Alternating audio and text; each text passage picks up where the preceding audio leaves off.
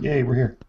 Hey everyone, my name is Fraser Cain. I'm the publisher of Universe Today, and this is your weekly space hangout for Friday, January 31st, 2014. That's it. We we destroyed another January. Already. it. Already. It feels just like it was December. So uh, this week we've got a cool crew. We've got Dr. Brian Koberlein, Hi. David Dickinson, the Hey, cheapskate guys. astronomer, which you will explain Yes. shortly. Yes, I will. I have to get you to explain your uh, your tagline every week. It's getting hard to come up with new ones every week. Major Jason Major Hey, Fraser. and um, Morgan Rehnberg, who has joined us three weeks consecutively now, Hey, Fraser. and Doctor almost forgot this was happening, Nicole Gugliucci. Yay, galaxy mergers! Yay, galaxy mergers! You were doing like actual science. You were doing science. no, actually, I was right? doing uh, education, making educational stuff. You're doing an education. Doing an education. It doesn't roll off the same way. It's not the same as doing a science. But this week we've got lots of cool stories, so I will uh, sort of give you the gist. Uh, we're going to be talking about Hawking saying there's no such thing as black holes. Discuss. Um, we're going to be talking about, uh, which I think is going to be great. Uh, we're going to be talking about uh, magnetic monopoles, uh, NASA's Day of Remembrance, the weather on brown dwarfs, planetary imaging on the cheap, Mars crossing comet, when to see Mercury, a river of hydrogen flowing into a galaxy. This cool image of uh, LRO, um, sorry, of LADEE captured by LRO, which is amazing, um, and uh, the sun getting photobombed by the moon. And I think Crazy before- moon. crazy moon. Before we do that, though, I think there's sort of like a big piece of news that some of us uh, talked about. I'm gonna see if I can make this happen. All right, and I and I know that I'm gonna get a takedown request as soon as I do this. So, uh, yeah, go for it. if you guys have any any guess what I'm about to do, okay, here we go. Are those the exact same seashores that Carl was standing on? Yes. I don't know. The original, the the one with the Yes. Who- Yeah, I think who so. Was, Yeah. Who was old? Who's old enough to have watched the original when it ran in the '70s? I have them on 80, DVD. 80s, 1980. 1980. What what should we do? Should we like do like some kind of live hangout while we watch it with the with the Oh God, with the, no! with the fans? You don't need my snark. It'll, it'll Really? be My- interesting. my oh, you think it's too much private. snark? You don't think that you could wi- like hold yourself from snarking too much, Nicole? I snark at everything. Right. But that's Even fun. things I love. That'd This be is how I show my love. Oh, come on. That's not really the Andromeda Galaxy. I don't know. Like, what will we do? What will we snark? I, I don't know. I, I just, I just hope they put it up online afterwards for us folks who don't have cable. yeah, They won't. Ooh. I think If I might be getting You know, a it's, digital. it's going to be on the regular Fox, so. I'm Yeah, getting a little yeah. antenna and digital tuner, partly so I can Yeah. snark at the Hulu- Olympic opening Hulu. ceremony, but also Hulu may run it. Hulu may run Hulu it. will run it. Yeah. Yeah. I'll just have to watch it the day after. Ooh, So, ooh. just to uh, Can, remind can everyone. it be seen in Europe? Wait, question already from Hugo Burnham. Can do you think it will when it will air in Europe, if I ever? don't know. Nobody knows. Uh, well, I don't know. How often do you get The Simpsons? You know, it's the same same people. Yet. Okay. um, Family Guy. Uh, right, so just one last reminder, which is that if you want to interact with us, you may. Uh, one place to do it is on the Q&A app, which is uh, available, should be, you should be able to just click it while you're watching this video, and then you'll see the place where you can can talk to us, ask your questions. Apparently the frame rate is very slow. I don't know. The internet, bad. I apologize for the internet. Less um, takedown potential. Yeah, 'Cause yeah. it came through so bad. Yeah, it came through so badly that we get just go watch it. You do a search for Cosmos trailer, and you should see it. In fact, you'll see a article from Casey Dreier who who wrote about it. So and already critiqued it. So what do you guys think? What do you guys think? How do you feel about Cosmos, the new version of Cosmos, hosted by our good friend Neil deGrasse Tyson?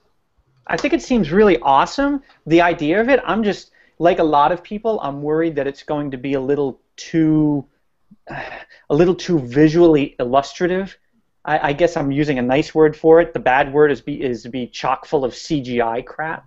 So I don't know. You know, I, I I love the idea of it and and everything around it. I just hope that in the end, it's not just too much eye candy and not enough actual science, I guess. No, I, I, I remember Carl getting a lot of flack for the original too from the Yep. science community actually that for for stepping out what they thought into being a celebrity scientist. He got a lot of flack for that too. So we'll see. So maybe this is just following suit, and you can't really blame them for it because they're just doing a modern interpretation of what Carl did back in the 70s. So you go, Yeah. hey, uh, Cosmos was Cosmos. Just because we have better CGI now doesn't mean we shouldn't use it.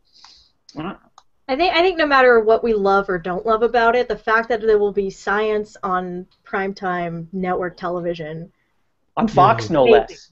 is just amazing. because there's been a lot of recent, I guess, documentaries that I've haven't been very happy with. Stuff that's been on the National National Geographic, things like that. Like there's one that came out. It was like, what would happen if a blob of dark matter passed through the solar system? Like and and the, and they got these channel poor scientists to like predict what would happen if this happened, right? I mean, hasn't happened, can't happen, won't happen. It's not a problem, right? And so, but they, but they, for some reason they need to turn everything into something catastrophic. Now, These I love the end of the universe. Don't do that to the scientists. Think of Yeah, this. think of the scientists. You know, like I love the end of the world as much as anybody, more than anybody. I am the worst, but even I cringed at, at that kind of stuff. So I'm just hoping that that maybe there will be Less apocalypse, more Hmm. inspiration. I just think it's I think it's going to be something we can get behind the science community to say, "Yay, there's space out there." That's cool. Well, Yeah, did you watch? Did anyone watch Through the Wormhole? I watched it. No, I Did you watch it? It Yeah. started out trying to, you know, like be fairly mainstream science, and then it really just went through the wormhole, Yeah. right? And by the end ones, there's like, you know, are there ghosts and is God real and there's all kinds of topics that Yeah, what do- what do aliens eat for lunch? I mean, it's just they, they went they went way too far into the speculative, and you know I, I don't know what that says. I don't know what that's that's a worse statement about. I don't know if that's a worse statement about you know where the where the networks are going, um, or if it's just what if it's a worse statement about all people can can comprehend and want to wrap their brains around. Um, I mean, there was a great series on that I really liked. It was How the Universe Worked. Um, and that never went into the, the it never went into kooky town. Had awesome visuals. Uh, uh, Mike Rowe narrated. Um, you know, he's not a scientist, but he likes science.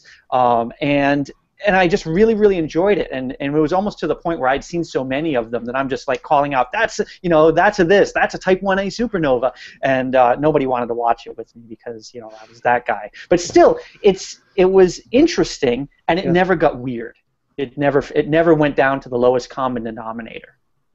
So I wonder how much control Neil deGrasse Tyson's had. Will, will he will he be able? Did he have script approval? Was he able to to you know because he knows his stuff obviously Well, obviously less and he, script and more editing. I think. yeah. and to be Yeah. able to say no we're not going to talk about this no we're not going to include that in the in the show that's you know that's I think that's the question so if he was able to you know enforce his opinions then I think it'll be great and if he was sort of rolled over then you know could get a little sensational I, I think as much as we complain about it or, or tend to complain about it, the bar is set so low oh. that, that anything Oh, science. No, no. Oh. I, I Oh. mean, I mean, when you think of science television, so much of it is Crap. hype and sensationalism. Yeah, so much of it is crap, and and so to have anything that is accurate and clear, even if it is hyper CGI and over sensationalized in some degree, it's better than what's been there.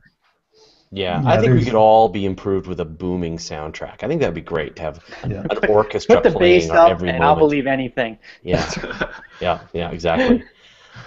Um, I, in fact, I think we should do that. We should have an orchestra playing in the Weekly Space Hangout from here on out. Um, okay, well, let's get on with the big, the big story. And this, uh, well, this was something. So, so Stephen Hawking said uh, there's no such thing as black holes. Brian, That Stephen Did Hawking I actually roll didn't- hard enough? Yeah, that- I can I- I hear can it. I can hear hear the your eye roll just grinding through the uh, through the video. It it depends on what you mean by black hole, and that's the thing. I mean, So, what did Stephen Hawking say? Stephen Hawking was presented. It's a three-page paper. It's actually just a transcript of a talk, so it, it doesn't go into a whole lot of detail. Um, but it basically prevent, provides an overview of an idea to try to solve what's known as sometimes the information paradox or the firewall paradox. So basically, what this is, you have a black hole, and in simple terms, a black hole has an event horizon, and the event horizon is a point of no return. It's a cosmic roach motel.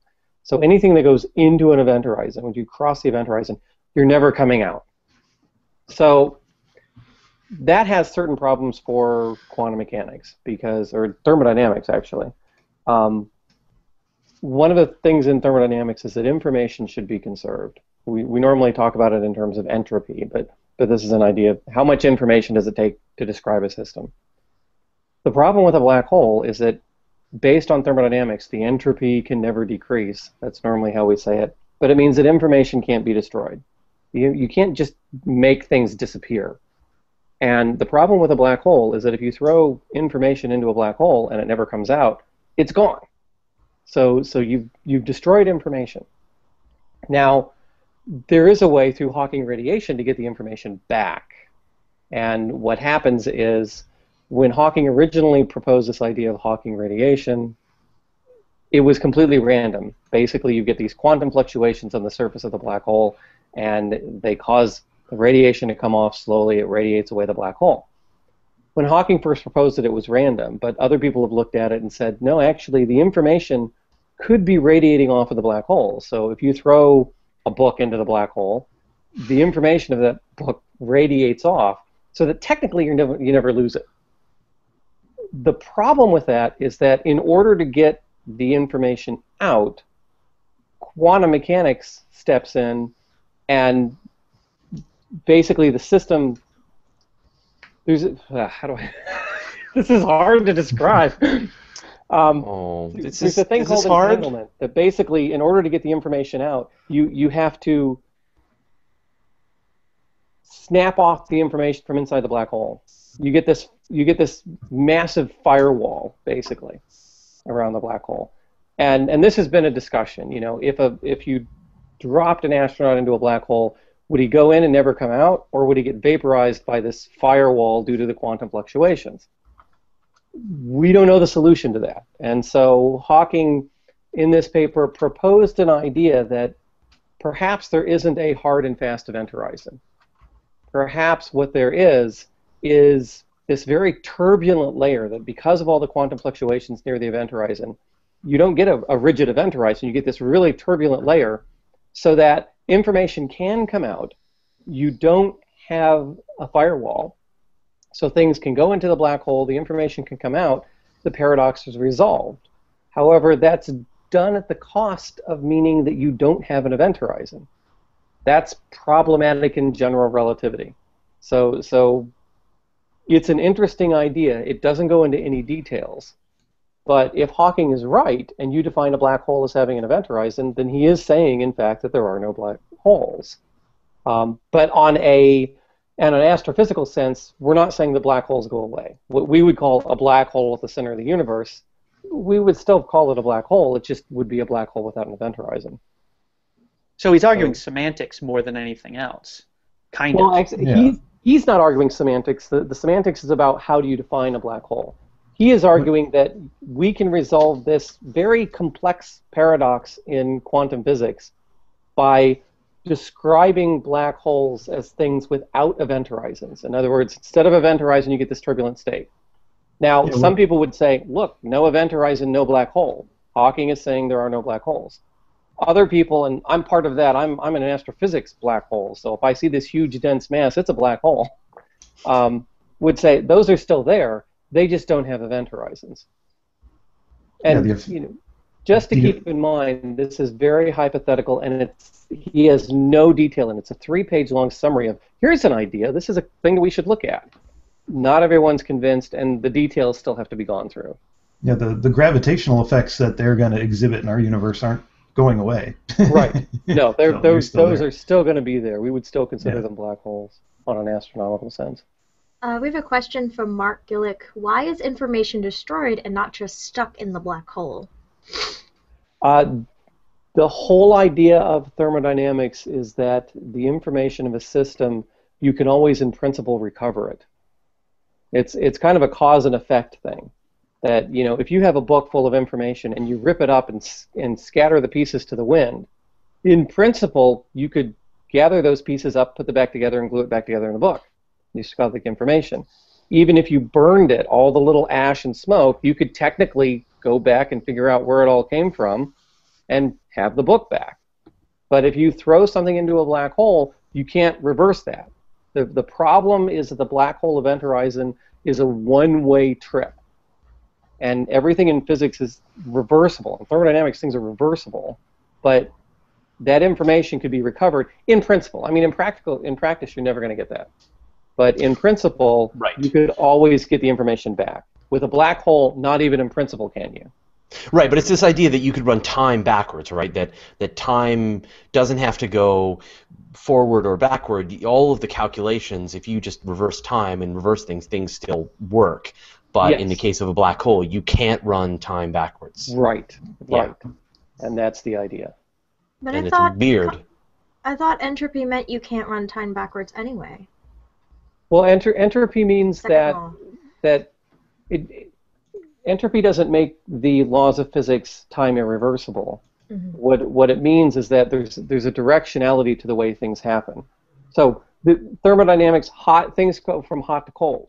You can make something go from cold to hot. You can make something colder, but you do that at the cost of creating more entropy, more heat elsewhere.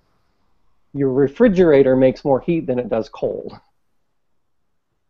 So, so you can do the same thing in thermodynamics. In principle, you can reverse things, but you do it at the cost of losing energy everywhere else.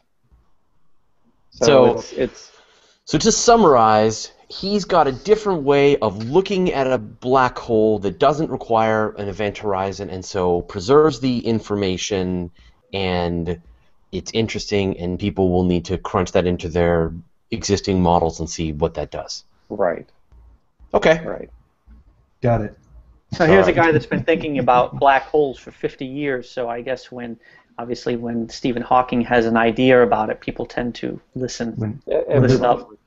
Yeah. when when a black hole comes careening into our solar system, we can say you might not exist. Yeah. I just there's no event you. horizon. Yeah, I disbelieve you. um, uh, okay, well, let's move on. Uh, we look forward to future updates, Brian. I suspect you will be working on this for months. Just update after update. Oh, I'm, I'm sure it'll it'll Yeah. come back later and later. Yeah. All right, uh, Dave Dickinson, I want to talk to you about Yes. the uh, brown dwarf weather patterns. Yeah, I'm gonna try and dig up the video for that one. It's super cool. Yeah, this was an interesting study came out of the Max Planck Institute over in Germany where they actually managed to catch some detail on the I wouldn't say surface, more like kind of the cloud tops of a brown dwarf pair. Now, this is a pair that was actually in the news last year was uh, it's called Luhman 16A and B and also has a, a NeoWise phone number attached to it too from the WISE survey, but I won't even try to dig that up and repeat it. It's easier to say Luhman 16A and B. 6.5 light years distant was just discovered last year, and it is the closest discovered object since they found Barnard star in the early 20th century. They're not quite stellar objects. It's it's more proper to call brown dwarfs as substellar objects. They kind of bridge that mass gap between extrasolar planets and low mass red dwarfs. Usually that's pegged at around 12 to 80 Jupiter masses or so. These two objects are right around the 40 to 50 Jupiter mass range, and they're 6.5 light years away in the constellation Vela, I believe, in the southern hemisphere, I remember right from writing it yesterday. And it's interesting, they actually did an animation map. Now, what they used was a technique called indirect Doppler imaging that they man- they used uh, from the Keck telescope down in the ESO observatory down in Chile and they actually managed to. I, I caught up with some of the researchers, and I was curious. One thing I didn't see in looking through the papers or looking through the press release is the actual inclination and the rotational speeds on these objects, and I was surprised to find they're pretty fast rotators. They, they think from what they were seeing from this indirect technique is that uh, a, the A component was rotating about three once every three hours, and the B component, I believe, they said was rotating once every eight hours. Now that's faster than Jupiter, which rotates the fastest rotating planet in our solar system, which rotates at 9.9 hours. So these things are really they're spinning pretty good. That's tentative, by the way. They said that that three-hour measurement, but they, they think that's pretty close to what they what they measured. And when they were mapping these objects out, it's interesting where you can actually see dark areas and light areas, and we're actually seeing. I just think it's amazing. We're seeing detail on extrasolar objects, and I know they've actually managed to do some indirect measurements of star spots before. Uh, I've wrote about that before, but actually, within a decade or so, we may actually be able to get this technique down with these larger observatories that are going online. We may actually be able to get this technique down to get detail on extrasolar planets. Now that would be cool, and something like a decade or two ago. I mean, we hadn't even discovered or, or imaged any exoplanets like over a decade. The first exoplanet discovery was back in '94, and it's only been within the last decade they've actually had any. Uh, some of the first like Fomalhaut B, where they've actually managed to get some images of exoplanets. So this is kind of cool. A lot of brown dwarf news this year already. Yeah, I mean, I think one of the, amazing things is that when you think of a brown dwarf and all the artist illustrations, they show a star, right? That it's like a, it, it's like a reddish or a brownish colored or a purplish colored version of a star, but it's still got sunspots and and it, mm-hmm. like it seems like it's like the artist illustration is always very star-like, and and yet you know it's very much like a big Jupiter, like a big they're they're kind of coming into their own thing. They're, they're not quite stars Yeah. and they're not quite exoplanets. They they do a low grade type of fusion known as deuterium burning. So they're not doing the full proton proton chain like red dwarf stars. They're they're not actually burning. I asked a scientist what further. color is a brown dwarf, and I think the answer was purple, purplish. yeah, I, I believe their categories, their stellar Infrared? classification are, are Yeah. T yellow or T Y and and L are, are the Yeah. stellar classifications for them. But yeah, they usually I've seen them depicted as deep purple or yeah, they're they're interesting objects. I mean, if you were in the solar system with a brown dwarf, you would see it, right? Oh, definitely, Oh, yeah. because they said even the lower mass ones are 13 times the mass of Jupiter at the lower end. So they would But would it be definitely giving off light? mostly in infrared? Yeah. It, it wouldn't be shining. It, it, it would be mostly an infrared and then reflected light. Would a brown dwarf cast a shadow? I guess is the question I'm asking. In In infrared. infrared. Infrared. I'm not in infrared. I, I would say the lower mass ones probably not. Maybe Yeah. when you get toward the that's just just me talking as as a non-astrophysicist, but I'd say maybe when you get up toward that blurry line toward brown dwarf and red dwarf, you might get some visible light. But I am completely incapable of doing screenshots today for some reason. That Cosmos trailer was as much screenshottery as I'm allowed. this Is the screen All your- share broken for you? Yeah, it's totally broken. It broke So- for me on Wednesday. Yeah. So if anyone, for example, named Jason Major wanted to put a screenshot up at some point, that would be awesome. Um, I, I've I haven't been able to get screenshots to work for, for months for some reason. So either I'm either I'm just doing it wrong, or you're No, doing it wrong. Completely Do it busted right. for Georgia and I on Wednesday. yeah, I can try, but I don't think it will work. I have another way I can do this. I have the yeah, I have my alternative way. I actually picked up my webcam and turned it around and pointed it at my monitor. Oh, good one. So All there's always that. Um, yeah, I have another way I can do this. Let me try yeah, this. mine's not happening. Is that it? But they're cool. In the interim, I'd like to let you guys know to use the Q&A app to ask us any questions or comments, or the oh, I see it. Hugo just posted it on the uh, event page. Uh, he just posted the little spinny map of the brown dwarf, so you guys can comment there as well.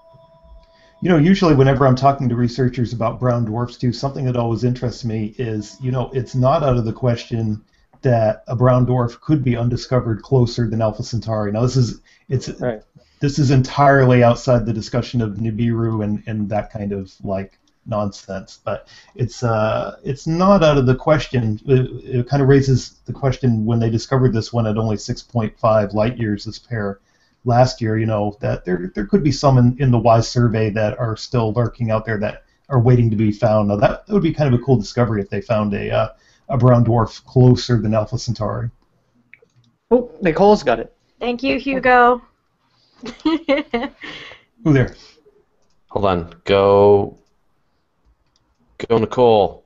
Hey, thank, thanks to Hugo for posting it. I just, cut, I Looks just it, sk- shared it, it reminds me of the Hubble images of Pluto they did a few years ago, kind of. Where, but it's uh, just just the fact we're getting any kind of blurry detail, and we can actually pin down rotation speed. And once we can start getting spectra off exoplanets, then it's going to be really interesting because then we can start seeing uh, kind of what they're made of and those, those interesting. We've already been able to get some spectra off of exoplanets. That's amazing.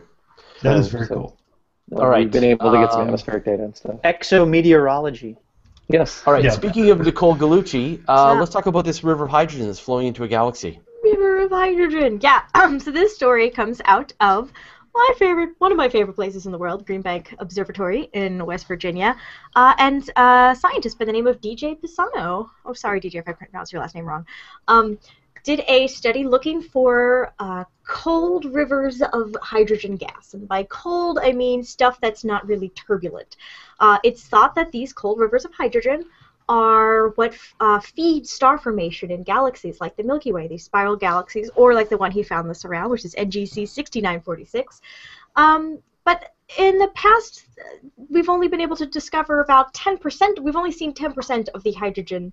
Uh, or the hydrogen gas needed to form stars. So our galaxy forms, on average, one solar mass of stellar material a year. So imagine one sun being born every year. That's the star formation rate of our galaxy but they've only seen about a tenth of that mass flowing into galaxies before when searching with interferometers. Now, interferometer, radio interferometers are lovely and amazing and wonderful, but they do have a couple of um, shortcomings. One is that you don't see the diffuse, fluffy uh, gas so much. Um, you need a single dish radio telescope to do that. And so, using the Green Bank telescope, uh, it's incredible sensitivity. It's the biggest fully steerable radio telescope on the planet. Uh, DJ was able to uh, see and map out this uh, this hydrogen gas, and specifically the colder streams that are falling into this galaxy to create star formation. So all the stuff for star formation that we need turns out to be right there in front of us. It was just really difficult to see without the Green Bank telescope. Now GBT is sitting right in the middle of a radio quiet zone, so you know it gets it gets super super high definition listening capabilities or watching Ah! capabilities. I'm sorry, yeah, that's watching capabilities out into deep space like that because Right. I guess I guess that just means there's there's no communication that's that's allowed in and out of that zone. I don't know how they stop. So they have um, different radii around the observatory over which they have different levels of control. Right at the observatory itself, there's no Wi-Fi. Well, no, there's no Wi-Fi. Uh, there are no there are no cell phone towers. Uh, you uh, visitors are expected to turn to not use digital cameras on site. Uh, there uh, are no. Uh, you have to have diesel-only cars near the telescope because spark Wow. plugs. Oh, I didn't In know most that. cars- That's interesting. Yeah, yeah. So uh, they have a fleet of diesel cars, some of them dating back to the 60s, that they still keep running, which are fantastic. Wow. Um, and so, yeah, all of these things create radio frequency interference. And then uh, in a larger radius, the people who live right near the observatory are also restricted in what they can use. Um, and then around this large rectangular region that expands all the way into central Virginia, uh, they do have some say in uh, how strong a transmitter can be built and uh, in what direction it can be pointed. And so anything in that zone, uh, they have a say in what happens. So once you get closer and closer to Green Bank, your cell phone's not going to work. Hmm. Um, and we, we've great oh microwaves not allowed to have microwaves on site unless they're in a big Faraday cage, um, which is kind of cool. Uh, except when I'm hungry. Um, so I of course love this place and love this telescope because I spent so much time working there, and it is really unique in being able to pick up these really this really sensitive, be very sensitive to pick up this diffuse emission. Uh, and of course, uh, the National Science Foundation has recommended it for divestment, meaning that they will not be able to, they, they don't think they'll be able to fully fund the telescope and the facility into the future. And so uh, the NRAO is looking for partners uh, to to uh, team up with to help keep the telescope running. So amazing science coming out of this telescope at the time when the NSF's recommending divestment. Kind of a, an odd combination. That seems to be the thing that happens. Yeah. Um, I choose Morgan to talk about the NASA's Day of Remembrance. Yes, that is today. Uh, and Is once it a year, it is today, 31st of Yeah. January every year. Yeah. NASA takes a day to remember uh, fallen astronauts. Uh, and whenever I'm talking about you know things in space that are dangerous, I like to say that no one's ever died in space, because I think that's a pretty remarkable achievement considering we've been exploring for you know 50 or 60 years now. But people have died in pretty much every other phase. They've died preparing to go to space, they've died on their way, and they've died coming back. And it's important to stop and rem- remember uh, the sacrifices that they make and NASA does that once a year. There'll be ceremonies at the various space flight centers today at Kennedy. Um, and you know, I think it's good for people to to take a moment and think about uh, how dangerous it is to be an astronaut, uh, or really a lot of the people who work in and around the space program. Uh, you know, we often sit here and report on things like, uh, you know, a spacewalk happened and an astronaut's helmet was filling up with water, and you know, as if that was a bad day at work. And you know, for him it is, but it's a dangerous situation. And and then we say, you know, well we sent them back out, but this time they had a snorkel. Uh, you know, as if that's you know a sane solution to the problem. Uh, now these are brave people uh, who do brave things every day, so that we can do amazing science on the International Space Station, uh, and so that we can sort of have the opportunity to wonder at the things that uh, that we're learning about the universe, uh, and they deserve to be remembered. Now, the, the specific dates, the specific events that they're looking to to commemorate, um, sort of which are what are the? I mean, it's three main events, right? Right. So the first time that we lost people was during Apollo One, and this was actually about a month before launch. They were preparing the spacecraft. It was uh, the first. Uh, test basically of internal power. So they disconnected all the batteries and things that they use uh, to test it, and they were running it just off the batteries in the spacecraft. Uh, and a spark happened, uh, and we never really found out where the spark came from. There's some different uh, ideas, but a spark happened. It caught something in the cockpit on fire, and that ignited the pure oxygen environment, um, and it killed three uh, astronauts who were preparing to be the first Apollo crew. Uh, and that was a real wake-up call for NASA and for you know America as a whole because in the three or four previous years to that, it seemed like we could do nothing wrong in space. You know, once we gotten uh, the Mercury astronauts into space, we were progressing almost on a weekly basis. You know, we'd have one person in there, then two people, then we were docking spacecraft, we had spacewalks, we, we were doing everything. And, you know, we were well on our way to getting to the moon ahead of schedule. Uh, but accidents happened, and we had to stop and think, you know, how can we make the space program safe enough to justify the lives of the people who were asking to to go out there for us? And NASA really stepped up at that time and said, we want to take this investigation, we want to go forward, we want to improve ourselves. And and they did. They stopped for more than a year and redesigned everything about the space program. And as we now know, all the all the Apollo missions, all the Skylab missions, everything up through the space shuttle, never again was there a, a life lost. Even in the event of serious accidents like Apollo 13, uh, we were able to to deal with that. Um, and the same thing sort of happened uh, with Challenger, which was the next uh, big um, accident in in NASA's history. And you know, this was I have here STS-51. So that means we'd already launched the space shuttle 50 times successfully. The space shuttle was launching, you know, once a month almost, uh, leading up to Challenger. And look at the things we were doing in space. We were we were preparing at this time the Hubble Space Telescope, which turns out wouldn't launch for a long time afterwards. Uh, but we were going to the frontiers once again, and and once again we were reminded know, how dangerous space can be. Uh, and once again, it turned out that this was something that was preventable, and that with you know better oversight and more care taken, we would have been able to save the lives of these astronauts. And NASA took that to heart and again redesigned uh, the space program, and and off we went again. And that continued again for another 50 missions. Uh, Space Shuttle launched uh, 56 times between that and Columbia, which happened uh, in 2003. That was STS 107. So here we'd launched Hubble, we'd fixed Hubble, uh, we'd launched a whole fleet of other spacecraft and satellites and things. We were building the ISS.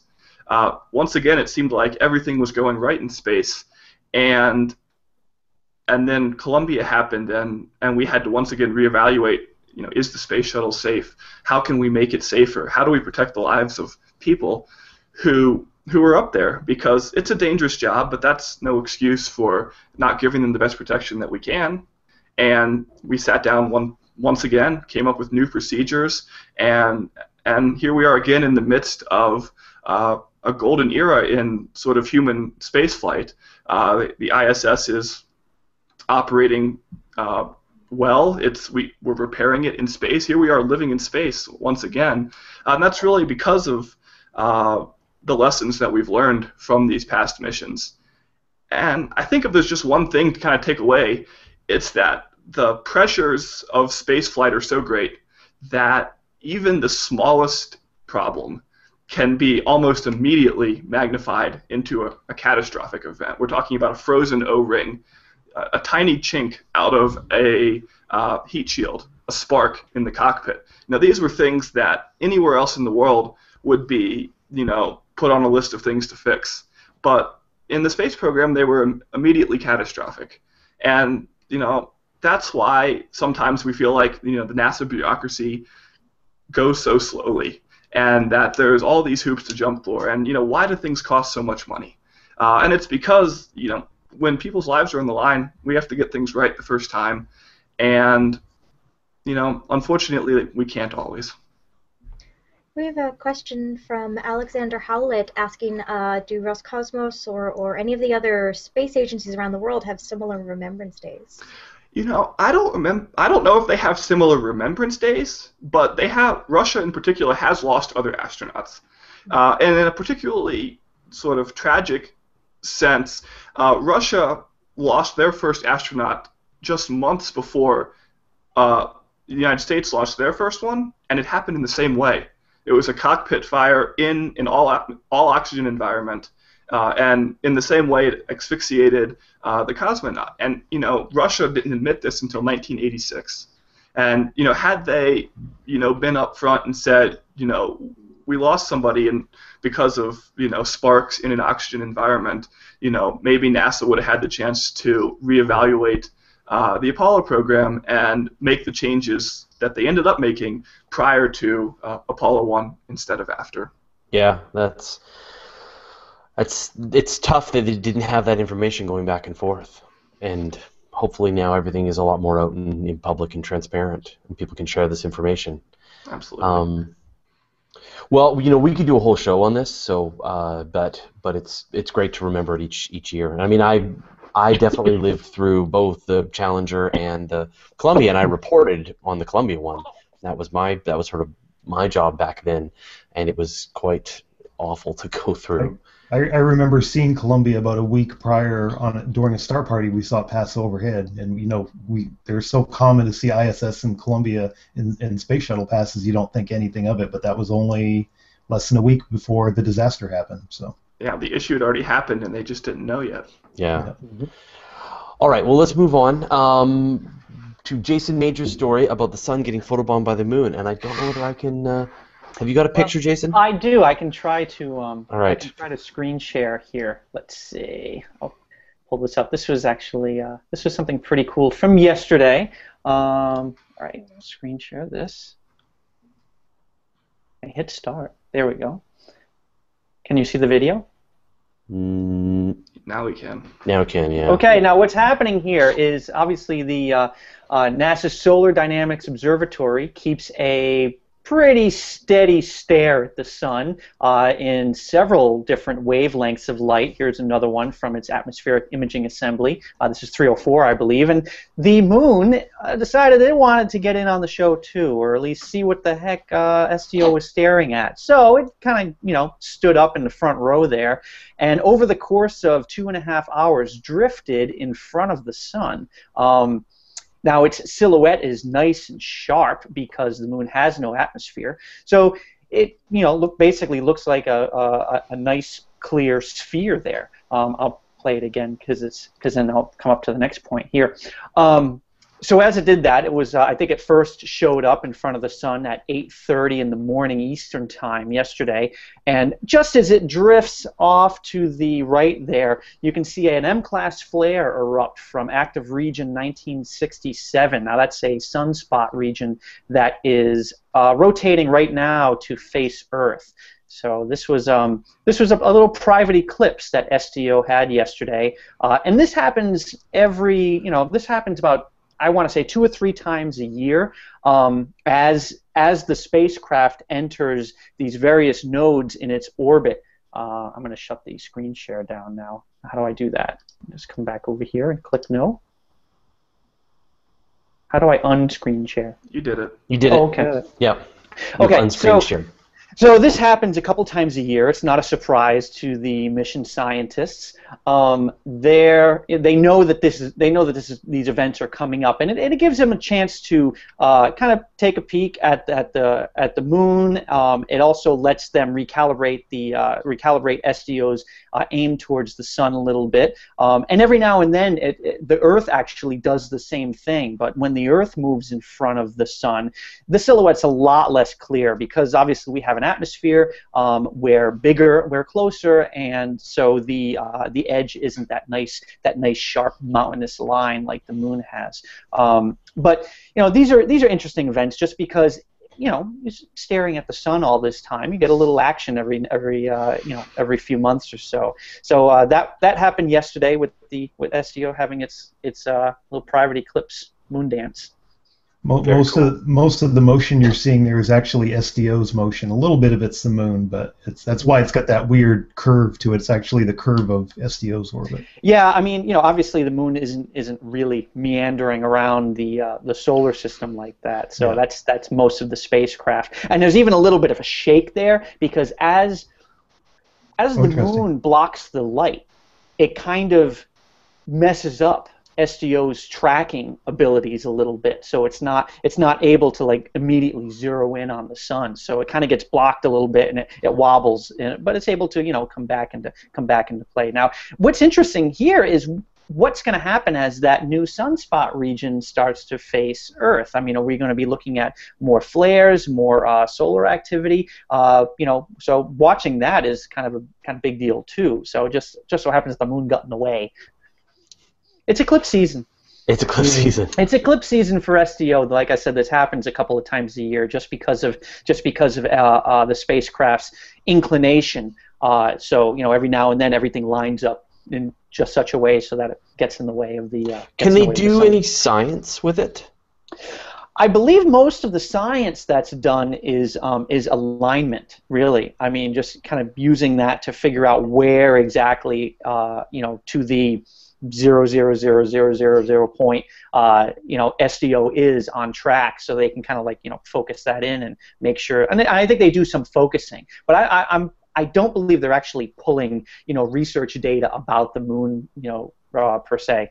Uh, now, it might be interesting because I, I don't know if it's something where they could get some details about the moon's exosphere. Yeah, uh, that's you what I know, was the thinking, very, very it's- thin it's atmosphere. atmosphere, that, yeah, so I don't know. but Nicole's yeah, just saying no. leave that to leave that to LADEE and, and all the other missions There- that are actually uh, There, devoted. there is Um, some discussion about exosphere studies. I've seen a recent paper that I'm mulling about writing about uh, during lunar eclipses from Earth, which is kind of interesting. But So speaking of LADEE, uh, we got a new photograph of LADEE. Did you like that segue? Yeah, it was beautiful. I you're right up. was gonna Cool. jump After all you. over that one.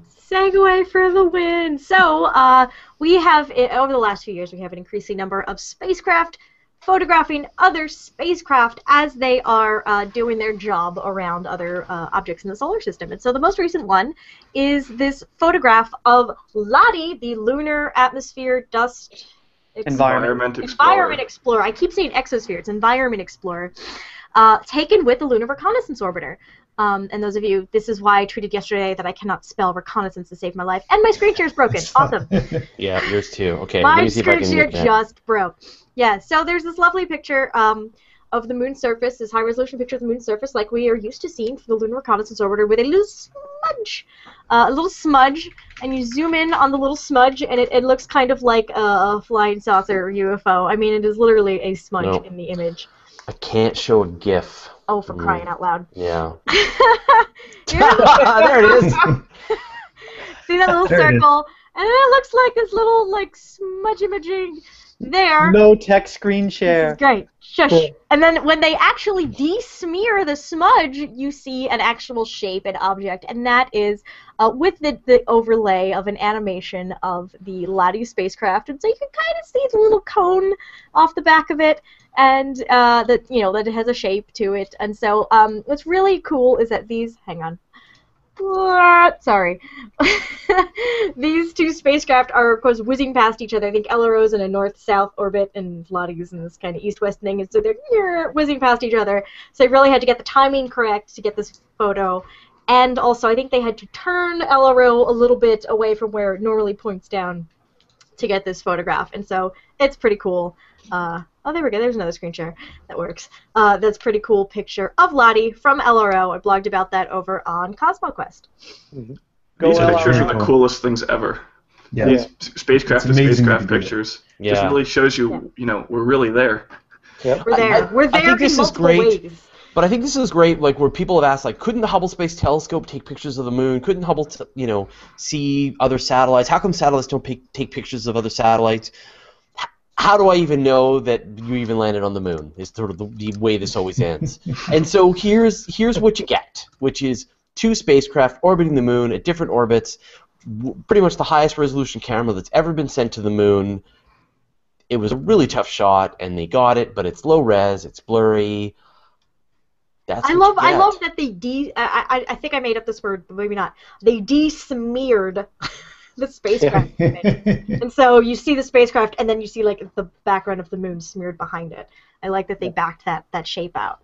Yeah, yeah, they What's were really tracking amazing- the object. What's really amazing is that the, the timing was incredible. Now, like everything else, they know when these things are going to be in in uh, in frame, but uh, LADEE was only in LROC's narrow angle camera frame for, for one and a half milliseconds. They managed to still snap it right in the middle of the frame.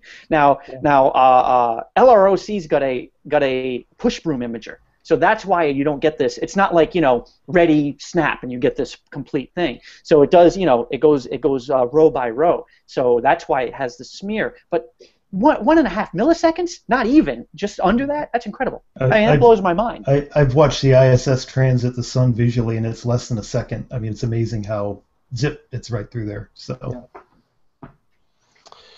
All right, uh, boy, I don't know if we have time for this one, uh, but it's too cool.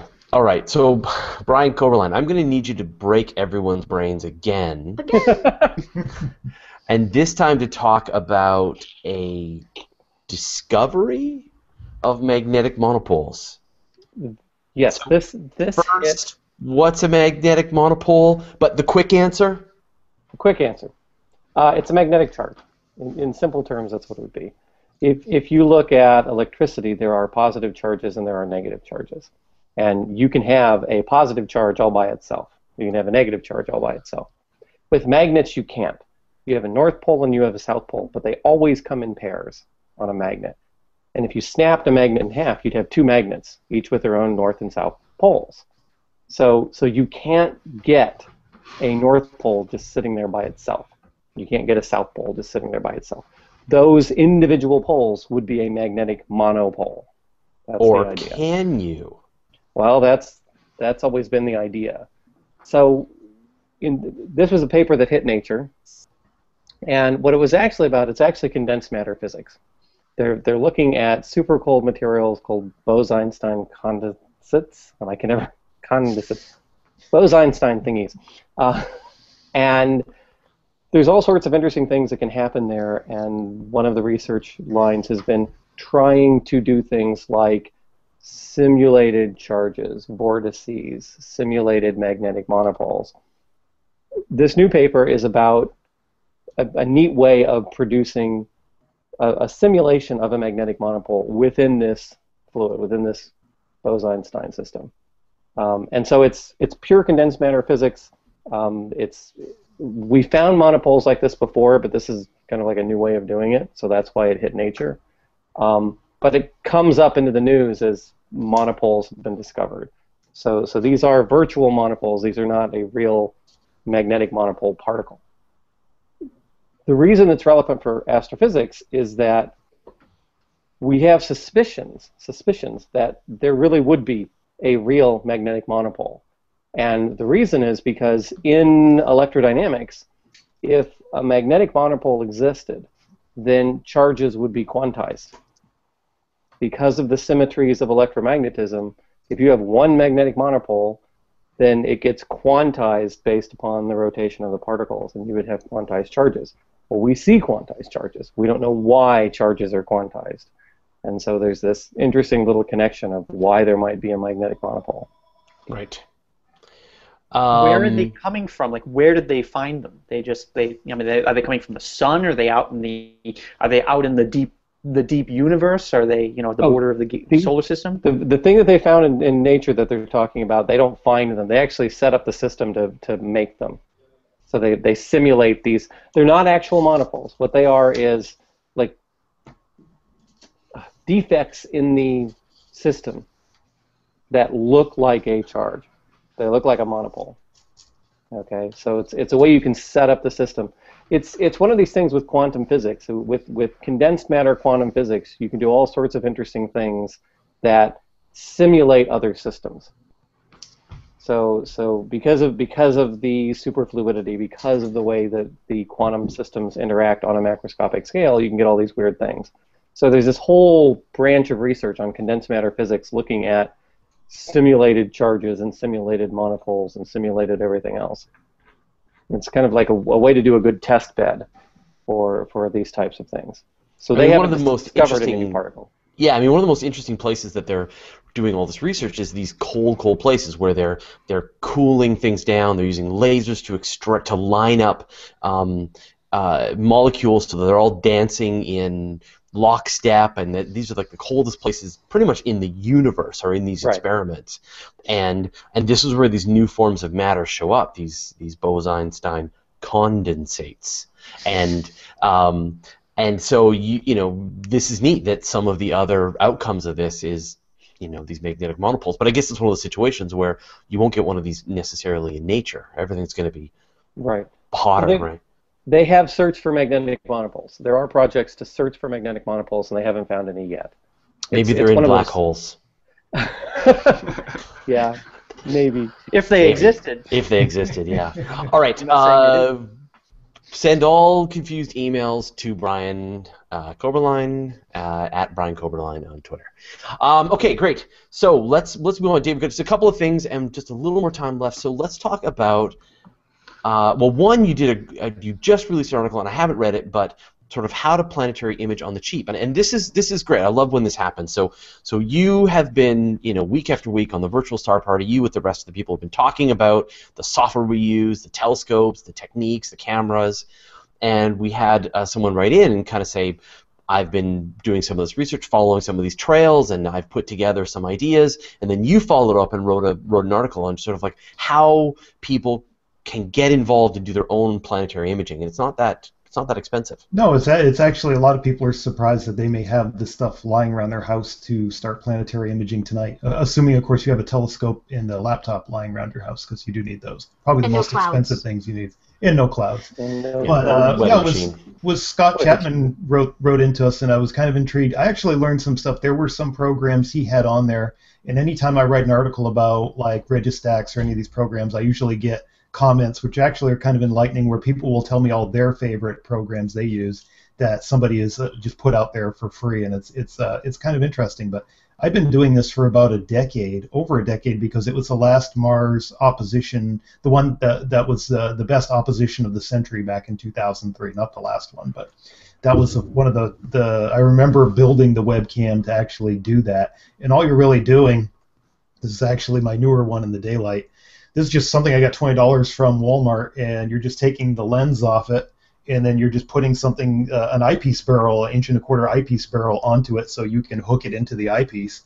And you're just imaging using. Uh, I use K3CCD tools, which used to be free, but now that uh, it was so popular, he charges fifty dollars for it.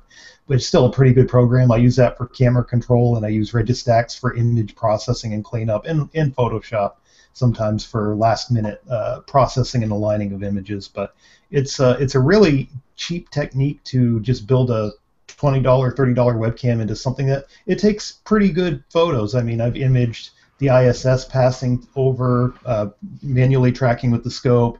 I've imaged Jupiter, Venus, Saturn, all the planets. I've imaged double stars. It won't do deep sky photography. It doesn't have the the the time exposure necessary to do it. You get way too much noise on the image, so it's not really suited for that kind of astronomy. And probably the hardest thing I find when I put it in, since I'm manually uh, focusing in a line, is uh, the initial acquisition of the image. And I have in the article how to go through how to actually get it centered, get it focused, get it aligned, run the video, and it's uh, it's it's fun. It's just a fun little technique for. I consider myself more of an astrophotography dabbler, a mere mortal compared to a lot, a lot of these. Yeah, guys some of the people on the virtual so- tour party are pretty amazing. I'm in awe of that. I'm in awe The- of that. What some people do. But. I mean, kind of the magic to this is the video. The fact that you run video. That if you're doing planetary astrophotography, you're running video, and then you get this piece of software that pulls together all the little pieces from all the video and makes the best possible image. And so you're turning You're- five minutes of video of Jupiter into one photograph, and the amount of detail in Yeah, that one you're- photograph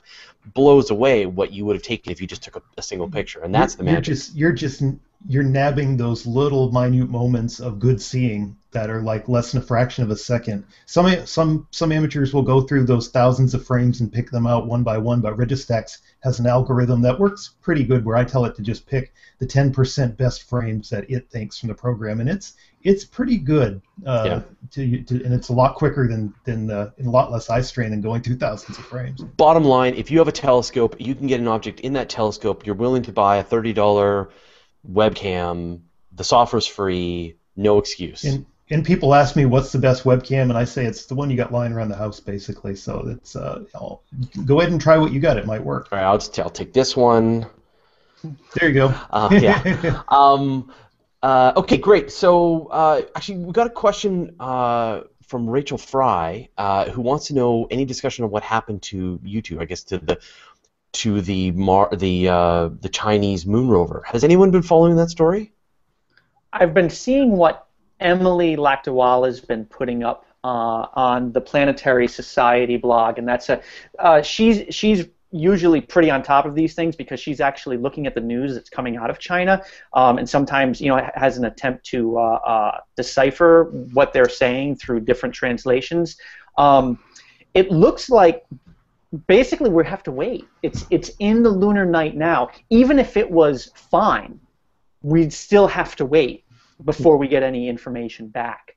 So you know, I mean, that's that's 14 days of darkness, Earth Earth days of darkness that we have to you know wait for it to come out. So potentially.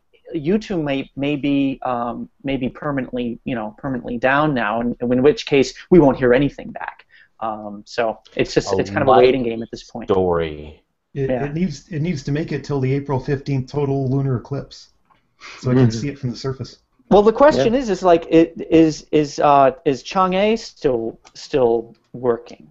Right. So the rest of the mission. Yeah. Yeah, I mean, rest of because the that lander. has that has cameras on it as well and everything. So Yeah. I, I don't know if Yeah. I don't know what the status is there. I think this is basically just the, the Jade true. Rabbit rover. Uh, yeah, and uh, Ken Kremer's been doing all the reporting on Universe Today, and we should get him in one of these sometime. Uh, but he's been he's been reporting on it like in incredible depth. So I hate to do this, but I guarantee if you go to Universe Today, you'll have all your questions answered. I also topic. included And a link to. Emily's post in the event Yeah. page. So. Yeah, but but Ken has been doing has been like working on these really cool panoramic images and Mm-hmm. really reporting on the the troubles that the mission has been having. So Well, Ken's So- been putting Ken's been putting the images together that have been going out into the world. So um, he's done a great job. Yeah, yeah, he's been actually been processing these panoramic views. Like, yeah, yeah, it's pretty great. Uh, yeah, I'll talk to Ken. He should come and join us sometime. I'll nag him. Um, okay, well let's uh, let's wrap this up. We're kind of running out of time. So uh, everyone, let's hear your shameless self promotion. Brian Koberlein, where can we find out more? Uh, you can find me on Google Plus. I'm on Twitter at Brian Koberlein. I'm also on my website briankoberlein.com. Awesome, David Dickinson. Uh, I'm AstroGuyz with the Z across all platforms. I was active this week on Canada.com, Universe Today, and my own site, AstroGuyz. And oh, get out there and observe Mercury this weekend. It's the best weekend for the Northern Hemisphere, uh, Mercury at dusk. Yeah, so we didn't get a chance to talk about that, but but Mercury, good yes, for Mercury, go see. Go see. JC Major, where do we find out more? I'm over at lightsinthedark.com. I am uh, on Universe Today, writing occasional posts about cool stuff, and I'm also at Discovery Space News, uh, doing the same. I'm, I tweet a lot I'm over at JP Major on Twitter, uh, and I'm on Facebook as well, and I'm on Google Plus. I don't know where I'm not uh, on. Where? Yeah. At. You're not on YouTube much. I am not on YouTube much, no. Um, so I'm sorry about that. I don't have I don't have uh, a, a video producer like you do, Fraser, to make to make awesome videos for me. Are, are you on Quora? What is your is- questions what- on Quora. I don't know what that is. Explain. There you go. There's one. It's a place. Search, you'll love it. Do a search. You'll be stuck there all day. Oh man, another thing. Another place. Be Another all everywhere, all the places. All right, Morgan Rehnberg, where do we find out more? Yeah, the website's cosmicchatter.org. We're cosmic underscore chatter on Twitter. And if you head over to CosmoQuest, you can listen to the monthly news roundup right now and hear another take on pretty much all this stuff. Dr. Nicole Gugliucci, where do we find out more? I don't know. Where am I? I am Noisy Astronomer. I live over at CosmoQuest.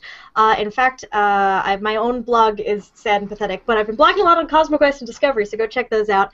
Uh, in particular, I'm very proud. I just posted a link in the Hangouts of uh, some some tutorial videos. We just finished up uh, redoing the citizen science tutorial videos for CosmoQuest. If you want to know how to mark craters like a pro, or at least like me, who's not really a pro at all, but Stuart help me out. He's a pro. Uh, go check out those video tutorials for the Moon, for Vesta, and for Mercury. How to mark craters for fun and non-profit. Non hey, there you go. For, For fun and science. science. And of course, I am the publisher of Universe Today, and uh, and as as, uh, as Jason said, we've been doing a ton of new videos. Um, we just wrapped up editing on 12 more. So, uh, how fast do black holes spin, and can Jupiter turn into a star, and do moons have moons? So, lots of great topics, and these will trickle out onto our YouTube channel over the next month. So, um, Fraser, where do you get the ideas for these for the questions? I mean, do you just do you just have a do you have a brainstorming session where you all sit down with a six pack and and try to figure out who would ask what about what? I think I think you could go through the unanswered questions of these hangouts Yeah. because we do get so many we can't get to. And I- just like I have those. a I have a spreadsheet where I just put every question uh, that I that I think of that I see people asking that people are emailing me to ask that seem to recur on Universe Today, and I and I and then I troll through that list of questions. I actually have a list of questions that has about two or three hundred in it that I that I will pluck from and tweak. So yeah, So more videos to come. many more videos to come. Are you kidding? bananas. We've just gotten started. So, all right. Well, thanks everyone for for uh, joining us. Thanks to the team for participating. It's always a pleasure, and we'll Are see we the you all next squares? week. Tiny The tiny squares. Goodbye, tiny squares. I think it seems really awesome. The idea of it, I'm just like a lot of people. I'm worried that it's going to be a little too, a little too visually illustrative. I, I guess I'm using a nice word for it. The bad word is be is to be chock full of CGI crap. So I don't know. You know, I, I I love the idea of it and and everything around it. I just hope that in the end, it's not just too much eye candy and not enough actual science. I guess. No, I, I, I remember Carl getting a lot of flack for the original too from the Yep. science community actually that for for stepping out what they thought into being a celebrity scientist. He got a lot of flack for that too. So we'll see. So maybe this is just following suit, and you can't really blame them for it because they're just doing a modern interpretation of what Carl did back in the 70s. So you go, Yeah. hey, uh, Cosmos was Cosmos. Just because we have better CGI now doesn't mean we shouldn't use it. I think I think no matter what we love or don't love about it, the fact that there will be science on primetime network television On Fox, no Amazing. less.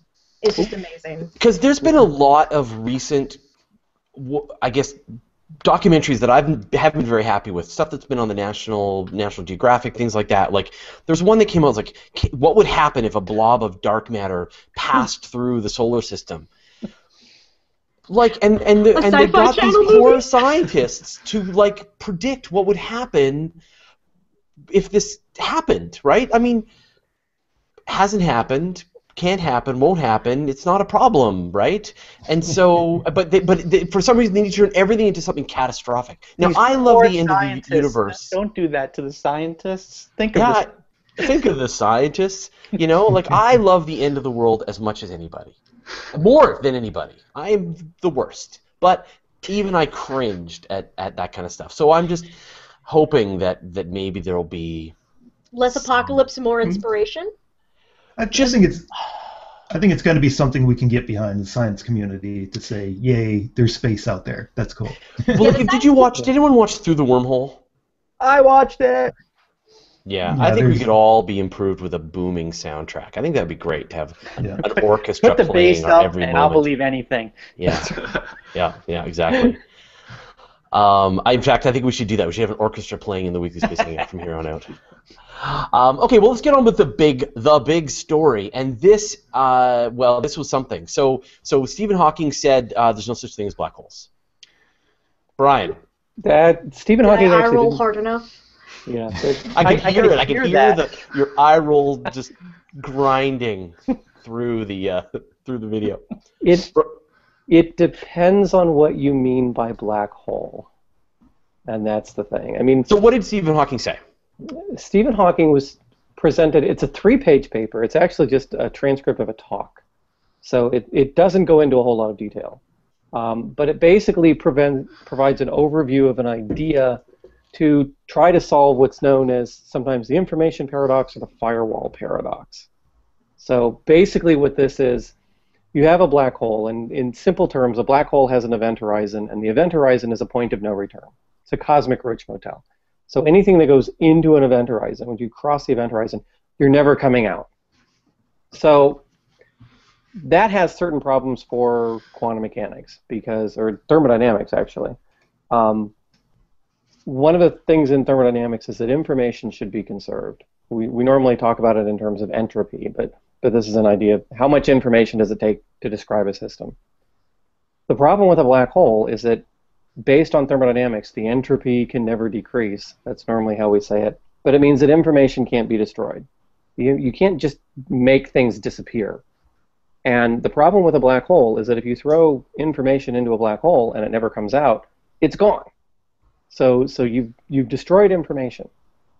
Now, there is a way through Hawking radiation to get the information back. And what happens is when Hawking originally proposed this idea of Hawking radiation, it was completely random. Basically, was standing on? yes. I don't know. The orig- the the one with the yes. Who- Yeah, I think who so. was- Yeah. Who was old? Who's old enough to have watched the original when it ran in the '70s? I have him on 80, DVD. 80s, 1980. 1980. What what should we do? Should we like do like some kind of live hangout while we watch it with the with the Oh God, with, the, no! with the fans? You don't need my snark. It'll, it'll Really? be My- interesting. my oh, you think snark it's too much snark? it. You don't think that you could wi- like hold yourself from snarking too much, Nicole? I snark at everything. Right. But that's Even fun. things I love. That'd This is be how I show my love. oh come on, that's not really the Andromeda Galaxy. I don't know. Like, what will we do? What will we snark? I, I. I, I just I just hope they put it up online afterwards for us folks who don't have cable. yeah, They won't. Ooh. I think If I might be getting You the digital. it's going to be on the regular Fox. So I'm Yeah, getting a little yeah. antenna and digital tuner, partly so I can Yeah. snark at the Olympic opening Hulu. ceremony, but also Hulu watch may run it. Hulu may run Hulu it. will run it. Yeah. Yeah. I'll just have to watch it the day after. Ooh, So ooh. just to uh, can, remind can it be seen in Europe? Wait, question already from Hugo Burnham. Can do you think it will when it will air in Europe, if I ever? don't know. Nobody knows. Uh, well, I don't know. How often do you get The Simpsons? You know, it's the same same people. yeah. Okay. um, Family Guy. Uh, right, so just one last reminder, which is that if you want to interact with us, you may. Uh, one place to do it is on the Q&A app, which is uh, available, should be, you should be able to just click it while you're watching this video, and then you'll see the place where you can can talk to us, ask your questions. Apparently the frame rate is very slow. I don't know. The internet, bad. I apologize for the internet. Less um, takedown r- potential. Yeah, 'Cause it yeah. came through so bad. Yeah, it came through so badly that we get. Just go You watch it. You do a search for Cosmos trailer, and you should see it. In fact, you'll see an article from Casey Dreier who who wrote about it. So and already critiqued it. So what do you guys think? What do you guys think? How do you feel about Cosmos, the new version of Cosmos, hosted by our good friend Neil deGrasse Tyson? No, Did you watch it? It Yeah. started out trying to, you know, like be fairly mainstream science, and then it really just went through the wormhole.